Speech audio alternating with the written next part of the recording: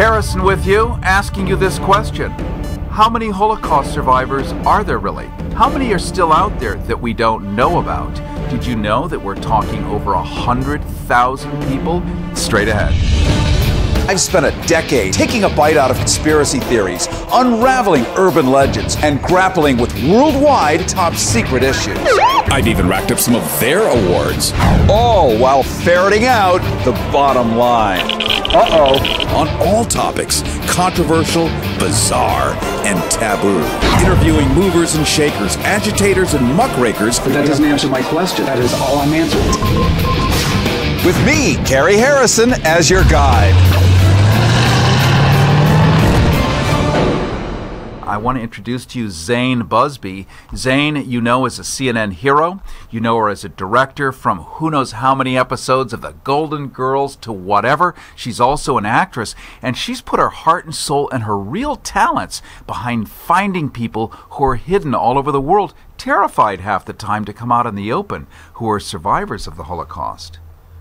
Welcome. Thank you very much. Yeah. Thank you. I know that was a very dour introduction. It's I like, well, know. geez, how do I get excited now? But this is exciting because you've is. already found over 2,000 people. Right. You know, it's it's it's interesting because I'm a comedy person. Yeah. So I'm I'm a comedy director, and now I have one foot in comedy and one foot in the Holocaust, which is a very strange combination. But well, it- Hogan's Heroes would yes, have been exactly. But uh, the Survivor Mitzvah Project is an organization, it's a humanitarian organization that is the only organization in the world bringing these people direct and continuous financial aid. So uh, these people are living in small huts. They need money for food, heat, and medication. These are the people who time forgot. These are the people who are the forgotten heroes of the Holocaust. These are the people who are out there. No one is helping them. And they're out there and they're so glad to know that someone remembers. It changes their life. So we're a life changing organization, not just for the survivors we help, but for all of the people who donate because it, the, when they change a life, you know, just by a donation, they get a great feeling. And it's a great feeling for me, too, that every day I get to change a life for the better. Every day I get to save a life. Every day I get to be, you know, the cavalry. I get to be a, a hero for these people. And so does everyone else who donates. And, and that's the thing is, without somebody advocating for you, you're invisible. That's right. And, and you wither and die. And um, I'm just going to give a couple of personal anecdotes here because uh, I went to a place called Sachsenhausen, which is a camp outside of Berlin. And I got there, and the Wiesenthal Center, the famous Simon Wiesenthal Center, didn't know where this place was. They knew the name of the town. I drew them a map on a napkin afterwards. And I get to the town, and I ask, Where's the camp? I, I don't really know what. How else do you ask? I- Right. Where's the camp? What camp? I said, you know, the big, because it was really the first operating camp. That's it had the Arbeit macht frei, the famous slogan, work will set you free. It had uh, medical facilities. It had ovens, which was taken out because it's in former East Germany. And that's a key thing. The Right. Soviet part of Germany, after the wall fell, it became part of regular Germany. But these camps continued until 1989. And they ended up as sort of gulags. They took Right. the ovens out, but the commandant's office still had polished teak wood desks. It was still fully functioning. That's right. We don't know about this in history. Right. It's, it's a part of history. I, I never knew. I took a two week hiatus and thought I was just going to go to Eastern Europe and visit the birthplaces of my grandparents and find them. And when I got crossed the border into Belarus, it was like going back in time like Yeah. 200 years. Yeah. It looked like a set from Fiddler on the Roof. You know, little wooden houses, no cars, no restaurants, no TV antennas, no electricity. And uh, it was just out in the boondocks. Downtown LA. Yes. and I would knock on doors and no one would answer. And, you know, I would go around the back and all these old people were on their hands and knees digging up potatoes because if they didn't get their potatoes out of the ground, it was September before it froze, they wouldn't have winter food supply. They lived on potatoes, right? And then I would say, uh, you know, hello or shalom aleichem. Someone Right. said, say shalom aleichem so they don't think that you're an enemy, you know? Right, right. And I did, and they would just like burst into a big smile and invite us in, and we had tea, and they would tell their story. And I find that with the survivors that we're helping that are so in need, and I always ask them, what's the most important thing in life? Because some of them are very, very old. And they, to a person in every language we communicate in, they say, kindness and compassion are the most important things in life. Kindness towards a stranger and compassion because mm-hmm. each one of them was saved by an act of kindness. A piece of bread was thrown. They hid someone for the night. Yes. They, they you know, they did one tiny act that saved someone's life. So they consider that to be the most important thing in life because things mean nothing to them, possessions mean nothing because everything they had, every photograph, every every musical instrument, Yes. anything was burned. So things don't mean anything. But five minutes between two people or a kind word, that means the world to them. That's right. I'm just going to jump in for a second because people come and go, and especially on radio, we can't see you, so I'm going to reintroduce you.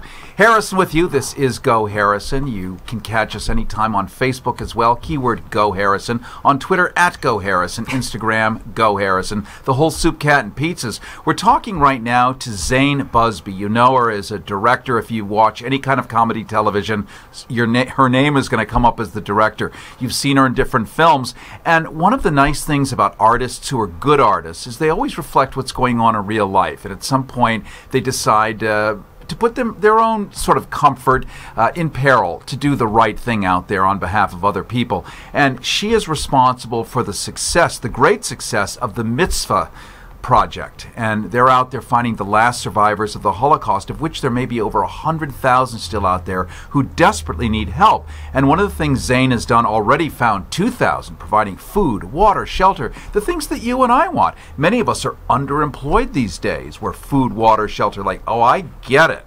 I get it. But we have a way at least to find some of that food, water, shelter. Other people have nothing and they're starving to death and they've already been through the most horrific part of the world. And Hogan's Heroes, which if you're super young, you may have seen it on TV Land or Nick at Night. It was a comedy World War II. I mean, imagine a concentration camp comedy with comical Nazis. You'd never be able to get that greenlit today, would you? Yeah, okay, so we got the Burkhalter. No, it's not going to happen. It wasn't uh, Jewish, gay, trade unionists, gypsies, 0%. So they were able to get away with it. Let's take a look. This breaks down the entire Survivor Mitzvah project in such a beautiful nutshell. As a child, I ran from the killing squads three times.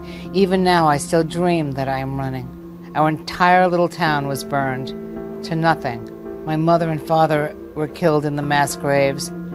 I sometimes think it would have been better if I had died with them. I cry at night. Your letters are for me like medicine. These are the last survivors of the Holocaust in Eastern Europe. And they're out there today, elderly, alone, suffering. They don't have extended family. Life is so hard in these places. They don't have anything.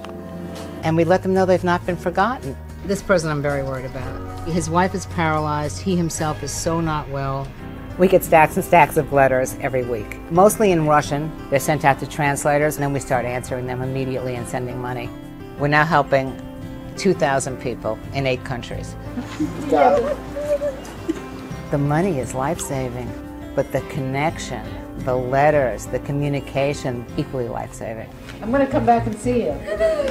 We can really write a more hopeful final chapter to the Holocaust, this time one of kindness and compassion, and what they finally deserve at the end of their lives. CNN hero Zane Buzby there in that clip. Zane is with us today here on Go Harrison The Survivor Mitzvah project is what she's doing, helping locate the last remaining probably 100,000 survivors of the Holocaust, many of whom are hidden away. They do not have services, and the plot of the play here, as you saw and as you heard there in that clip, is to raise money and provide help. I was in Dachau, famous uh, outside of Munich, about 30 minutes out. Munich, where BMW is made, and Audi, Bavaria, very rich part of Germany.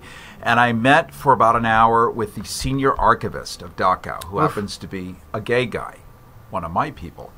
And he said he has a roster of 800 people that went through Dachau that the German government officially says were not there. Right. They don't exist. This is all fabricated.